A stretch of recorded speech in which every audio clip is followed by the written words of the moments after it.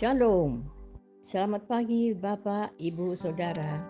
Terima kasih telah bergabung bersama kami dalam renungan harian Jemaat GKJ Bandung. Bersama kita akan mendengarkan firman Tuhan dan merenungkannya. Selamat pagi Bapak Ibu, Saudara-saudara semua. Renungan harian GKJ Bandung pagi ini dalam tema Terima kasih atas pemberian jemaat. Tema ini sama dengan judul perikop yang diberikan oleh Lembaga Alkitab Indonesia pada surat Filipi pasal 4 ayat 10 sampai 20.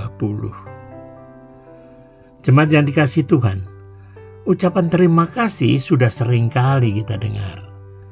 Ucapan itu merupakan suatu pernyataan sukacita atas kepedulian orang lain terhadap kita.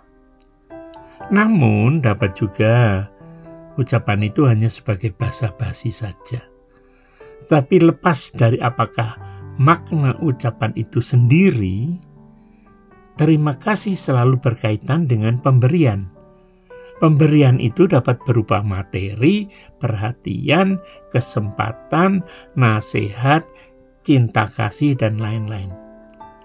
Apa pun yang diberikan kepada kita, kalau kita menyambutnya dengan ucapan terima kasih, tentu akan mendatangkan sukacita bagi mereka yang memberi. Jemaat yang dikasih Tuhan, dalam bacaan kita kali ini, Paulus juga menyatakan terima kasih kepada jemaat di Filipi atas perhatian dan pemberian mereka. Namun, Paulus tidak menjadi orang yang tergantung pada pemberian jemaat di Filipi. Justru sebaliknya, jemaat Filipi juga tidak menjadi jemaat yang merasa berjasa terhadap Paulus mereka masing-masing menyadari bahwa semua itu terjadi karena ketaatan mereka pada Injil. Jemaat Filipi memberikan bantuan kepada Paulus karena mereka merasa harus ikut mengambil bagian dalam kerepotan dan kesusahan Paulus. Perhatikan ayat yang ke-14.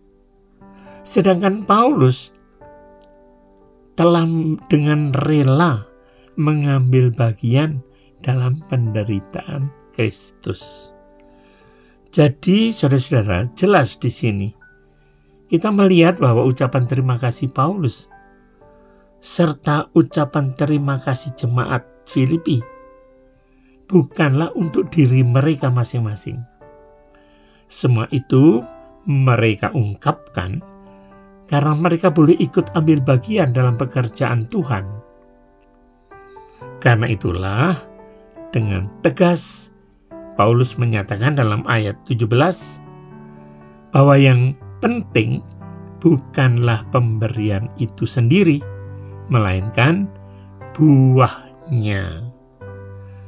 Ayat ini hendaknya dapat mengingatkan kita sekalian bahwa dalam suasana yang berat serta sulit yang dialami oleh umat Kristen bahkan juga oleh bangsa Indonesia saat ini, toh kita masih Tuhan mampukan untuk menyatakan kesediaan membantu saudara-saudara kita yang membutuhkan uluran tangan melalui berbagai pelayanan kasih. Namun, perlu kita sadari, seperti apa yang dinyatakan Paulus, bahwa bantuan itu tidak ada artinya sedikit pun jika tidak dapat menghasilkan buah bagi kemuliaan Allah. Dengan demikian, kita tidak sekadar mencari kepentingan kita sendiri, melainkan selalu mengutamakan apa yang diinginkan Tuhan supaya kita perbuat. Marilah kita semua mengucapkan terima kasih kepada Tuhan, Raja Gereja kita, yang telah memberikan kesempatan kepada kita untuk ikut ambil bagian dalam pekerjaannya yang mulia. Amin. Mari kita berdoa.